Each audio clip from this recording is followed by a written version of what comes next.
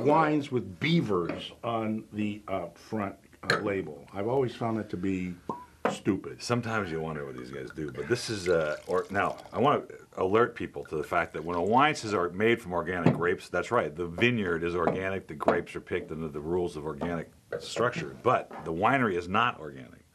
It's Well- not organic wine because it- the winery is, itself doesn't practice organic principles, but the vineyard that grew the grapes is organic. Which is more important. Wow. I love Petite Sirah. And this is uh, from uh, Mendocino, I believe, right? Lake County, yeah. Lake, well, Lake County, not Mendocino. Is we, you know, I, I- think in a in a previous war it used to be part of Mendocino, but then they broke off, kind of like Alsace. Is that Petite Sirah or what? Mm-hmm. Is this, unfil- Oh wow, is this unfiltered? Boy, talk about a monster! Ooh wee, It's got some life to it, doesn't it? man, oh man! You It's already an 09. Can you imagine what it tastes like when they bottled it? You need some wild boar ragu to go with this sucker.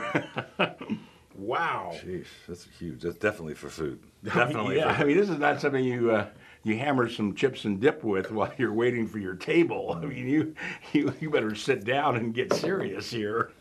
But some seriously smoked uh, beef ribs or something. Oh, really man, but good. that you know, I'll tell you, once you get past the tannin levels, there's some gorgeous fruit in There's there. all kinds of character. And it's all Petite Sirah. I mean, you, Petite Sirah has its own character. It's not Syrah, though it has to be. But it's not kind petite of either. and it's not Petit. That's right. and to find that fruit component in there is what you're looking for in a Petite Sirah, and it's in there. But it's it's known to be an acidic, big grape. I mean, that's just the way it is. Is it a thick-skinned grape? Must be. Uh, I believe so, called- yeah, because it's called Durif in, in the south of right. France, and um, it's right. really. I mean, they're, they're, it's hard to make this wine because it can get out, it can get away from you, and then you got this tannic monster with no fruit, and, and that's not good. But but this has got some fruit to it. But whoo boy, I'd like to just give this to my granddaughter, who turns four today, by the way. Wow! Congratulations. Thank you. What are had you nothing to do with it actually, but What are you doing? Coming to work? That's great. Ninety-four.